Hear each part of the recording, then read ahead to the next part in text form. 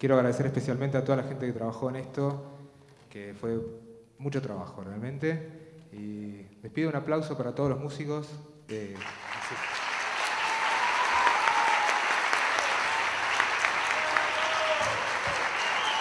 Bueno, Dian, que no la presenté, Dian.